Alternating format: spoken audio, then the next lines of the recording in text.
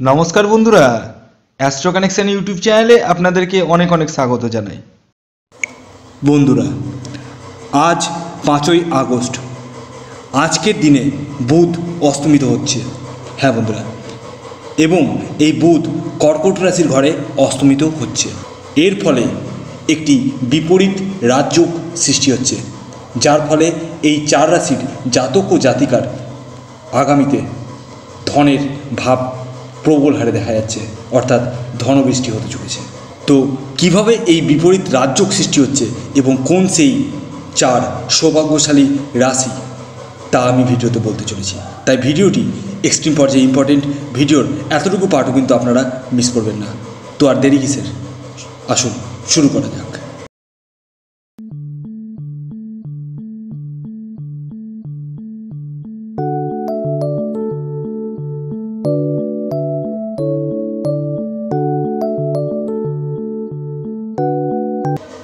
প্রথমে আমি আপনাদেরকে জানিয়ে দিই, এই বুধের অস্তমিত হওয়ার ব্যাপারটা কি? যখন কোনো গ্রহ তৃতীয়ভাবে, ষষ্ঠভাবে, অষ্টমভাবে এবং দ্বাদশভাবে যখন অস্তমিত হয় অথবা নিচস্থ হয় এবং শত্রুগৃহে থাকে, পাপগ্রহ দ্বারা দৃষ্ট থাকে এবং কোনো শুভগ্রহের দৃষ্টি না থাকে, সেই পর্যায়ে সেই গ্রহটা কিন্তু অশুভ হয়ে যায়। এবং যেহেতু এই গ্রহটি অশুভ হয়ে যায় এবং কোনো শুভ গ্রহের দৃষ্টি থাকে না, যার ফলে এই গ্রহটি কিন্তু কম্বাস্ট হয়ে যায়। তখন উল্টো ফল দিতে লাগে, অর্থাৎ বিপরীত রাজ্যকে সৃষ্টি করে ফেলে। তো এটি হতে চলেছে বুধের ক্ষেত্রে। এই বুধ কর্কট রাশিতে অস্তমিত হচ্ছে এবং সেটি কিন্তু চন্দ্রের ঘরে।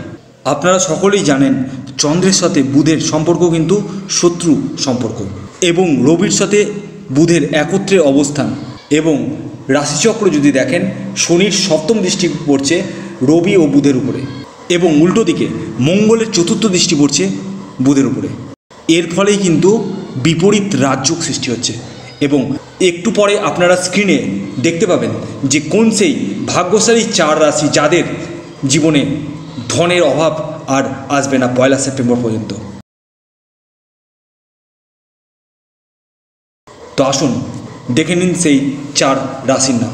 প্রথম যে রাশিটির কথা বলব, সেটি হচ্ছে বৃষ রাশি। হ্যাঁ বন্ধুরা, আপনাদের কিন্তু তৃতীয়ভাবে কিন্তু এই বিপরীত রাজযোগ সৃষ্টি হচ্ছে। আপনাদের ক্ষেত্রে কিন্তু যে কোনো আটকে যাওয়া কাজ কিন্তু হয়ে যাবে। এবং এছাড়াও যারা বিজনেস করছেন, তাদের কিন্তু বিজনেসে ডেভেলপমেন্ট করবেন। এছাড়া যারা লটারি কাটছেন বা কাটবো বলে ভাবছেন, তাদের কিন্তু লটারি লাগার সম্ভাবনা প্রবল হারে রয়েছে। এর পাশাপাশি আপনাদের মান সম্মান বৃদ্ধিও করবে। এরপরে যে দু নম্বর ভাগ্যশালী রাশির কথা বলব, সেটি হচ্ছে সিংহ রাশি। হ্যাঁ বন্ধুরা, আপনি যদি সিংহ রাশির জাতক বা জাতিকা হন, তাহলে এই বুধের দ্বাদশভাবে অস্তমিত হচ্ছে এবং মঙ্গলের চতুর্থ দৃষ্টি পড়ছে এবং রবি এবং বুধ একত্রে দ্বাদশভাবে অবস্থান করছে। শনির সপ্তম দৃষ্টি পড়ছে, যার ফলে কিন্তু এই বিপরীত রাজযোগ সৃষ্টি হচ্ছে। এবার আসুন, আমি আপনাদেরকে জানিয়ে দিই, কী হতে চলেছে আপনাদের আগামীতে। আপনাদের ক্ষেত্রে কিন্তু মান সম্মান বৃদ্ধি হতে চলেছে এবং আপনাদের চাকরি এবং ব্যবসার ক্ষেত্রে কিন্তু উন্নতি হতে চলেছে। যারা ঘরে বসে আছেন, তাদেরকে বলব, চাকরির জন্য প্রচেষ্টা করুন এবং যারা বিজনেস করছেন, তাদের কিন্তু বিজনেসে আটকে যাওয়া অর্থ আসতে চলেছে। এবং আপনাদের যদি লোন থাকে, সেই লোন কিন্তু আপনাদের রিকভারি হওয়ার সম্ভাবনা রয়েছে। তবে আপনাদের এর ফলে কিন্তু নার্ভের প্রবলেম আসার সম্ভাবনা রয়েছে এবং স্কিন ডিজিজ হওয়ার কিন্তু সম্ভাবনা রয়েছে। এরপরে তিন নম্বর যে সৌভাগ্যশালী রাশিটির কথা বলব, সেটি হচ্ছে ধনুরাশি। হ্যাঁ বন্ধুরা, আপনি যদি ধনুরাশির জাতক বা জাতিকা হন, তাহলে আপনাদের কিন্তু অষ্টমভাবে এই বিপরীত রাজ্যক সৃষ্টি হতে চলেছে। যার ফলে আপনাদের কিন্তু ব্যবসা ক্ষেত্র কিন্তু খুবই ভালো যেতে চলেছে। এর পাশাপাশি আপনাদের প্রাপ্তিযোগ হতে চলেছে। সেটা লটারি থেকে হতে পারে, ফাটকা থেকে হতে পারে, জুয়া থেকে হতে পারে, সাট্টা থেকে হতে পারে যে কোনো জায়গা থেকে কিন্তু প্রাপ্তিযোগ রয়েছে। এছাড়াও কিন্তু পৈতৃক সম্পত্তি বা শ্বশুরালয় থেকে সম্পত্তিও কিন্তু আপনারা পেতে চলেছেন। তবে আপনাদের ক্ষেত্রে একটি খারাপ সংবাদ রয়েছে, সেটি হচ্ছে আপনি যদি মহিলা হন, তাহলে আপনার স্বামীর শরীর নিয়ে একটু প্রবলেম আসবে।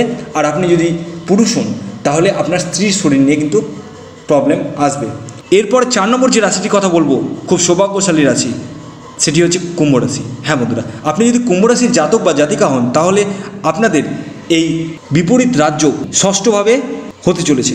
আপনাদের ক্ষেত্রে কিন্তু কর্মপ্রাপ্তি হতে চলেছে এবং কর্মক্ষেত্রে মান সম্মান বৃদ্ধির পাশাপাশি কর্ম, কর্মে উন্নতি হতে চলেছে এবং আপনাদের ক্ষেত্রেও কিন্তু প্রাপ্তিযোগ রয়েছে।